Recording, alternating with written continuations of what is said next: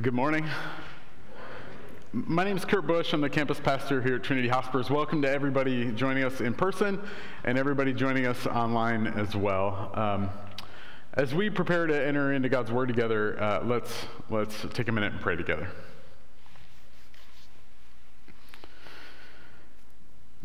God, we pause here as we get ready to engage your Word, and we just acknowledge who you are, that you are the provider of all things.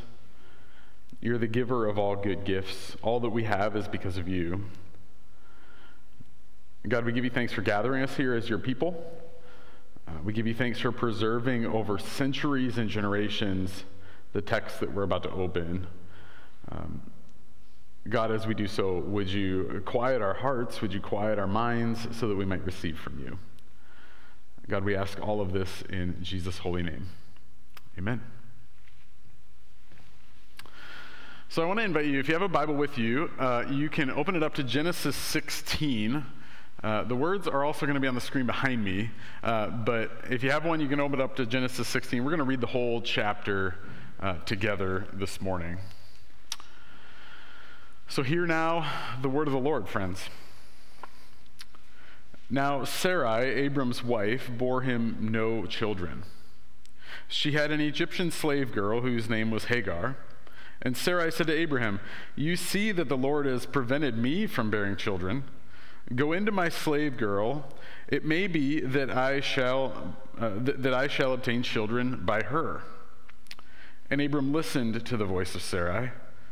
So after Abram had lived 10 years in the land of Canaan, Sarai, Abram's wife, took Hagar, the Egyptian, her slave girl, and gave her to her husband Abram as a wife.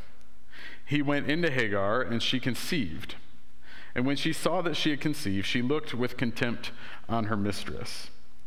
Then Sarai said to Abram, May the wrong done to me be on you. I gave my slave girl to your embrace and when she saw that she had conceived, she looked on me with contempt. May the Lord judge between you and me.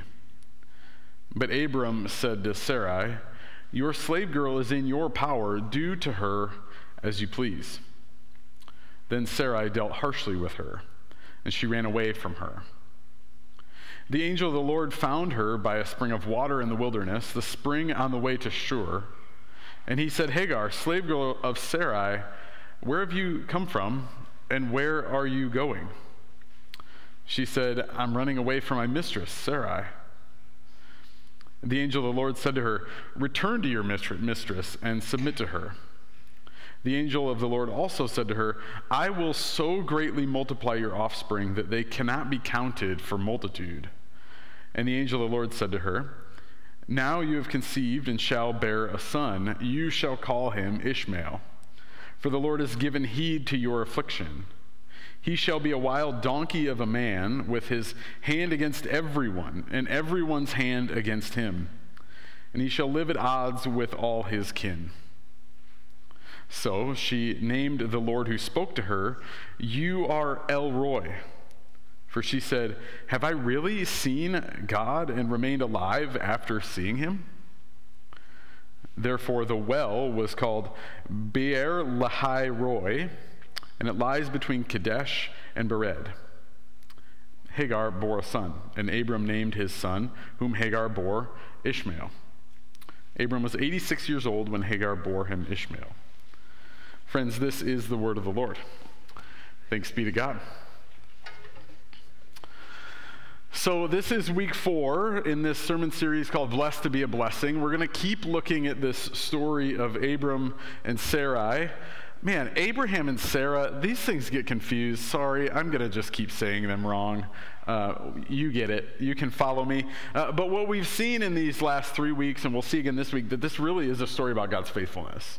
This really isn't a story about uh, the human characters. This is a story of God's calling uh, on our lives, on Abram and Sarai's life. And, and it's really a story about blessing them to be on mission with him. Right? We've seen this all along. We've seen that God called Abram and Sarai to go, and they go. They lean into obedience, they lean into faithfulness. And we see God bless them and equip them to go and be on mission in order to fulfill the call that He's given them, which remember is to bless all the nations. We've also seen God's faithfulness when the human character's actions are less than exemplary or less than faithful, less than trusting, like when Abram convinced his wife to lie and say that she was his sister so his life could be spared. Well, unfortunately, friends, today is a story of much of the same. Only this time, Sarai is the human character that struggles to trust God's promises. Right, in verse 1, right away, the narrator of this uh, wants to let us know where we're at, wants to remind us of, of what's going on and remind us that there is still no heir. There's still no child for Abram and Sarah, still no promise, no sign of the promise beginning to happen. Remember the promise. Do you remember what the promise was? It was God telling Abram, I'm going to give you so many descendants that they are going to number as many as the stars, and those descendants then will be the instrument, the vehicle through which all nations are blessed. But there is still no heir. I don't know if you feel the tension.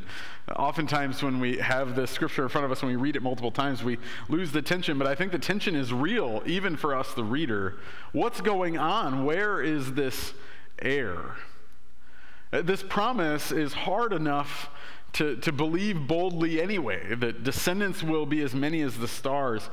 I wonder how, how different it would be to believe this promise more boldly if Abram and Sarah could actually begin to see the dominoes fall. If maybe they could see one child, one descendant, but still nothing. Still nothing. Which is probably why we see what is about to happen with Sarai. Because remember, we've kind of heard this story before. A couple weeks ago, Abram was so uh, anxious and there was so much tension as to why the promise wasn't happening that Abram said, I'm going to take matters into my own hands. I'm going to take matters into my own hands. I'm going to do something that, that probably isn't mine to do. And here we are again with this question Will God really do this? Is God really going to make this promise come to be? This week it's Sarah's turn to take matters into her own hands. Right, in, in all of this, and all the, what we just read, leading up to Sarah taking things into her own hands, I, I, I don't know what's true here and what she's feeling, but I wonder if it's a God, if you're not going to do this, then I'm going to do it. If you're not going to begin this process, I'm going to begin this process. That, that's one possibility. Or maybe Sarai was genuinely trying to help the promise along. Maybe this is an earnest attempt that it, may, maybe God is calling us to go this route. Maybe it's just a miscalculated decision. We don't, we don't know. But we do know what she does, and we do know how it goes. She makes up this plan where Abram is going to have a baby with Hagar, who is, as the text puts it, uh, Sarai's Egyptian slave girl. Now, we need to take one sidebar here for just a second. There are some cultural differences between Genesis 16 and Northwest Iowa in 2024. Very strong cultural differences. Uh, these are different worlds, right? These are different worlds, not the same at all. And it's really hard to grasp for us what's going on here because when we read Scripture, we bring our own perspective, the only perspective we have, which is ours. It's 2024, it's our, our lifetime of how we've uh, been, been raised. We bring all of that cultural impact into this, but we have to remember that what's going on here with Abram and Hagar probably wasn't as shocking to them as it is to us. Right? It, it would not have been out of the ordinary. It would not have been common for someone like Hagar to bear a child for someone like Abram and Sarai. This is maybe not the most shocking part of the story. What is the most shocking part of the story is that this is so clearly not part of the plan. Right? This is so clearly not part of the promise that God gave. If you remember Last week in Genesis 15, we read this God said these words to Abram God said, No one but your own issue, which is your own offspring, your own blood, no one but your own issue shall be your heir. This then is what makes this moment, this decision, so shocking. And, and this is what guarantees negative consequences, guarantees a negative impact for everyone involved. And, and that's exactly what happens. Right? Hagar conceives a child. Something happens in that relationship where there's contempt. I, I don't know. I imagine there's maybe some, I got, I conceived a child, you didn't. I don't, we, don't, we don't know. But there's some contempt. Sarai responds. And it says that Sarai deals harshly with Hagar. Now, I don't know about you, but this is super interesting. We read in the text that Hagar is an Egyptian slave girl. Hagar is not sneaking around with Abram right? Hagar is not lusting after Abram. Hagar is simply doing what Sarai has instructed her to do as a plan. This would be like me going to the barber and telling the barber, "Hey, can you cut my beard off? I'm done having a beard." And he gets done, and then I go like, "What? Where's my beard?" Right? This is a, a similar example. Hagar is not sneaking around here, and yet something happens where Sarai says, "I'm going to deal harshly." It's worth noting that Abram encourages it too. Both human characters here have a moment that a poor decision is made, but Sarah lashes out. She lashes out so harshly that Hagar runs away. Friends, this is telling as to how harsh this was. Now, we, we might imagine if this was somebody today in a relationship where they're being treated harshly, we, we would imagine a couple things that that maybe they would go stay with a friend or a family member, right? They would find another place to, to, to live and to be. Or maybe they would find a social agency that could help them out, help them uh, navigate a tough transition. Obviously, none of this was available to Hagar. Hagar is an Egyptian slave girl. Again, culturally speaking, what this meant was that also her security and her provision came from the house of Abram. They, they were solely responsible for her, for her well being, for her care, for providing all the things she needed. And in this moment, Hagar says, I'm leaving. I'm going to leave my security behind. I'm going to leave my protection behind. I'm going to leave all the things behind. There were no options for her. She was alone.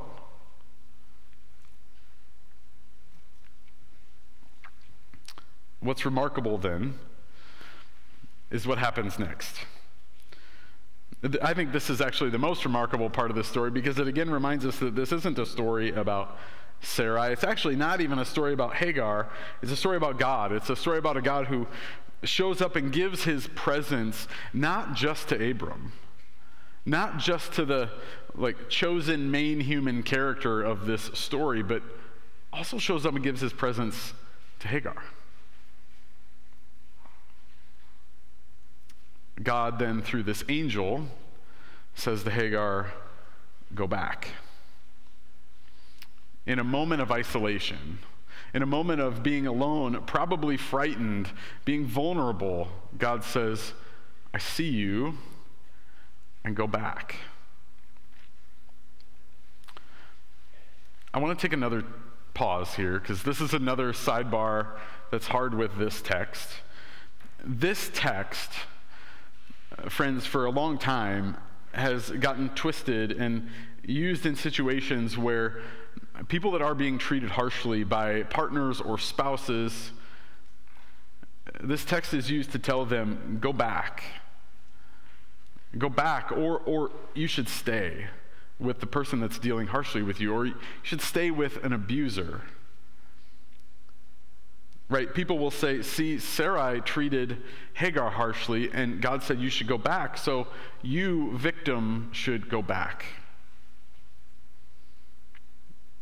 I, I want you to hear me say really clearly today that any reading of this that guilts victims or guilts people who are being treated harshly, abused, Any reading that guilts them to go back or to stay with someone who's abusing them is not the most faithful reading of this text. It's not, a, not an example of shalom, not an example of what we see God working towards through the entire scripture. This is a sermon in and of itself, and, and this could be a whole different conversation, but I, I, think I just wanted to pause and say there are so many cultural differences that it can be hard to square these things, but this is not a case of scriptural guilt victim shaming. Thank you. Let's get off the sidebar there. What seems striking to me is that Hagar, in this time of vulnerability, in this time of being uh, alone, Hagar comes up with her own name with which she's going to refer to God, her, her own way of remembering who, who God is. And remember, Hagar is Egyptian, right? Hagar is not worshiping Yahweh, the God of Israel, right? Hagar is in the house of Abram, but Yahweh is not Hagar's God at this point, and yet she calls God El Roi, which in Hebrew means the God who sees. The God who sees. It's remarkable, right? When she was alone, when she was without hope, when she was without security, without status, without future, maybe even being forgotten. We, we don't know if she was being forgotten or if Abram and Sarah said, Well, there goes Hagar. I guess we'll never see her again. We, we, don't, we don't know. But in this moment of vulnerability, God saw her. God saw her. When the human characters once again set aside and abdicated their duties, their responsibilities, God does not. God does not. God shows up. Now, I'm aware, I'm aware of how often I say this phrase, God shows up, and I'm also maybe aware that that's pretty abstract. So I maybe want to just say a little more about this because I think this case, when we say God shows up, I think this particular instance has a lot of other scripture that we can look to to understand what that means. Maybe you've heard me say this, maybe you've heard someone else within Trinity say this, but in our faith tradition, uh, we believe that the clearest picture of who God is, the clearest picture of God's nature and God's heart is seen in the person of Jesus.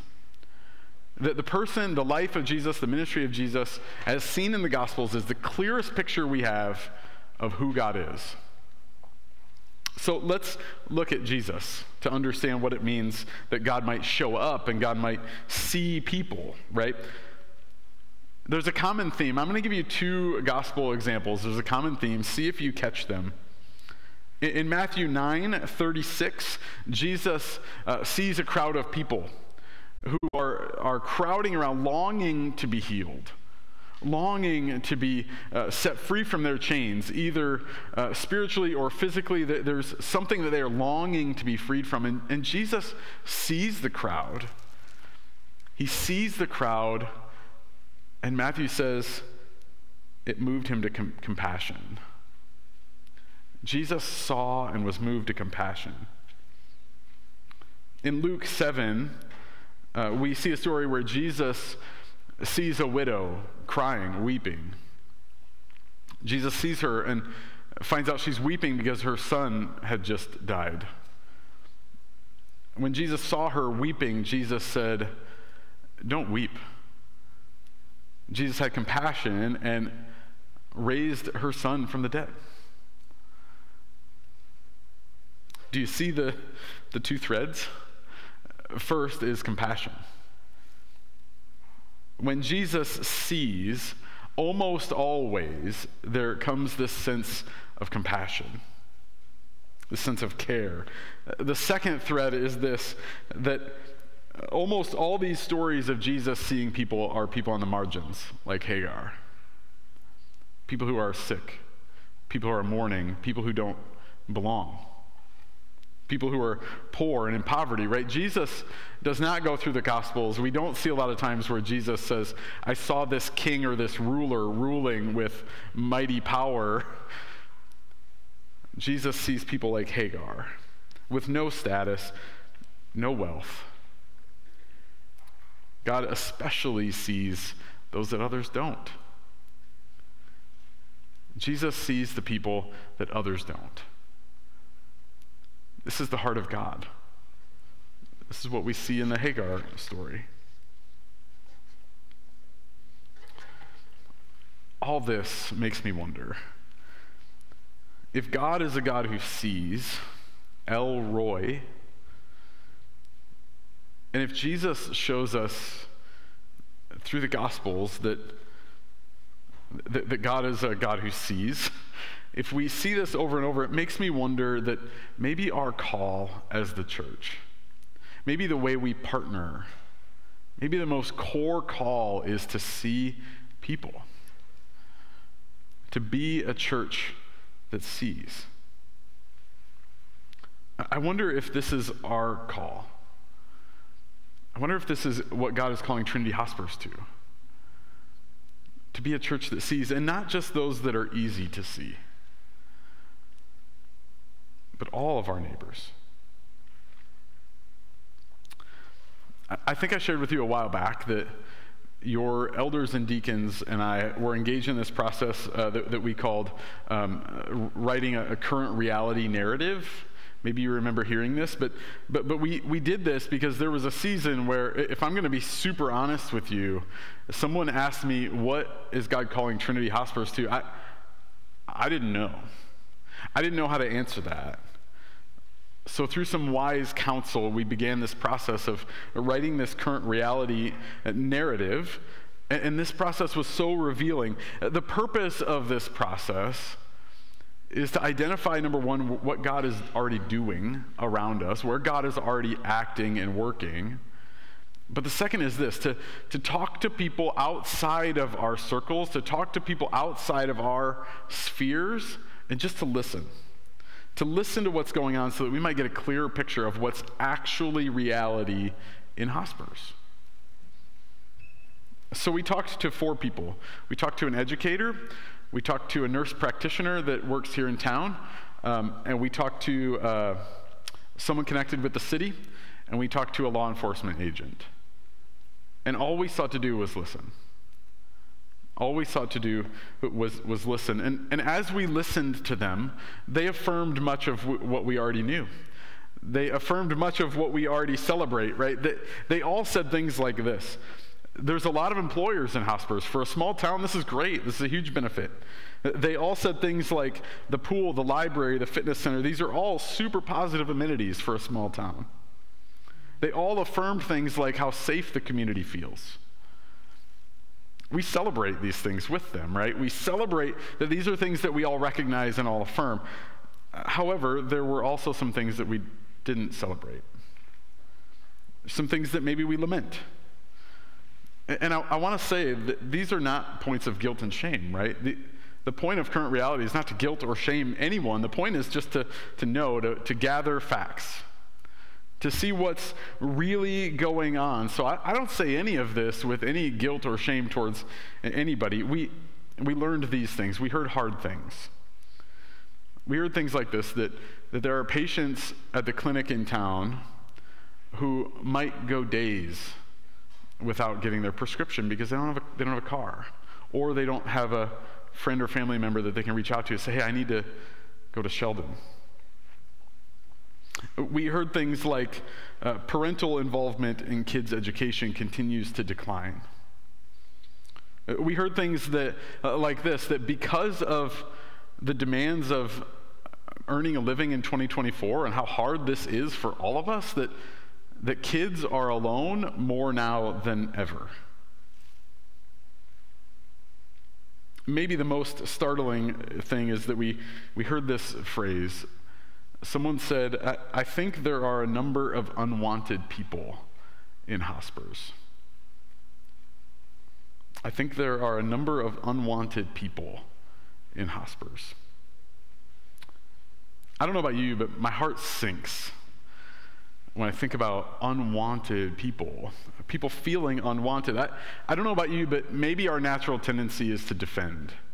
Or, or to say, well, that can't be right, or to justify why that's not right, or to say, well, uh, people aren't known because they don't make an effort. That, all those things are our natural tendency. That's our anxiety. Here's what I want to invite you into today Not asking, is that true or is that right? I want you to ask the question with me what if it is? What if it is? What if a number of our neighbors feel unwanted by the very community they live in? What if a number of our neighbors feel un- unwanted by the church? What if it's because we're not seeing them? Right? What's also true is that some of this current reality surprised me. I think it surprised a lot of us. Uh, I'll name for me, I think it surprised me because I don't hear these stories. I'm not in circles where I hear these stories. I'm not in circles where I see the people that don't have a way to get their prescriptions. These are not circles that I see on a daily basis. So then we have to ask the question what keeps me from seeing them? What keeps us from seeing them? Discomfort? Yeah, probably. Fear? Yes, probably. Shame? Yes, absolutely. It's this voice that says, even if I do see them, I don't know what to say. And I'm going to say the wrong thing or I'm going to do the wrong thing. Yes, all of those things are true, whatever the reason. What seems to be true is there's parts of our community that, that the church isn't seeing. No guilt and shame, it just is. I, I, w- I want to wonder this too with you, with the Hagar story fresh in our view here. I, I, I wonder about this. I, I wonder if we have a hard time seeing people because maybe we haven't fully been seen ourselves. I wonder how you would answer this question. Would you say that you've allowed God to see you? You don't have to answer it, but I want you to think about that. Have, have you allowed God to actually see who you are? I'm just not sure that we can see others well unless we've been seen ourselves. Maybe the question is this. Maybe the curiosity is this Do you feel a resistance to that? Do you feel a resistance of being seen by God like Hagar was, vulnerably, authentically? Do you feel a resistance? Does it feel scary? It might. I, talk to you a lot about emotional health. And, and much of that emotional health work revolves around shame and the stories that we tell ourselves about ourselves and about God that may not be actually true. But we believe them, and for a long time we hold on to them. I'll tell you one story. For a long time, I believed and still sometimes have to fight the belief that I'm an imposter that if, if, that if you all really actually knew how little I know, that you would withdraw from me.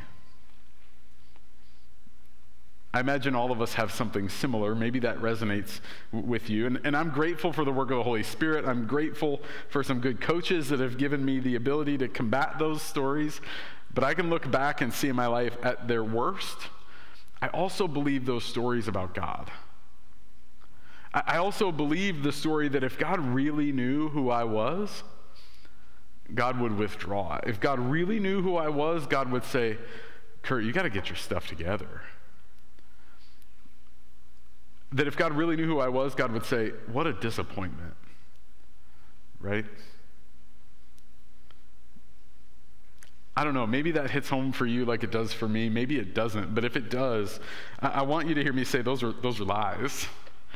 Because of Jesus, God delights in you. Let me say that again. Because of Jesus, God delights in you. God desires wholeness. God desires that you don't hide from Him. And just like in Hagar's story, God wants to see you. Just like we see in the Gospels of Jesus seeing people and showing compassion, God wants to see you. God, the, the angel uh, asked Hagar, Where have you come from? Where have you going? I don't know if you know this, but God knew already. God definitely knew the answer to that question. That question wasn't for God, that question was for Hagar. Just like being seen, when God says, Where are you? Where am I? The question isn't for God. The question is for us so that we might see that God truly delights and God truly does not withdraw from us. That's the invite today. Will you allow God to see you? Will you allow God to, sh- to show himself as the God who sees? And, and will you allow yourself to see and believe and remember that he does not withdraw from you? He does not run from you. God knows all of our hearts better than we do. God shows compassion. Would you allow God to show you compassion the way that Jesus showed all of those people compassion in the Gospels? But may it not end there. May the peace of being seen not end with us. May, may we be seen so that we might go into other places and see others too. God is a God who sees, and he is good. This is what Hagar says. May that be our refrain as well. And may we be seen in order to receive grace and courage to see others. Friends, this is, this is my prayer that more than a full sanctuary, more than a, a, an amazing budget, more than glamorous programs, that this is what I hope for for this church in this place, more than anything else is that we might be seen by God, all of who we are, so that we might see others. That others around us might see that it's, it's okay to be seen by God, that God desires to see them just as much as He desires to see us. Friends, may it be so by the power of the Holy Spirit. Amen. Let's pray.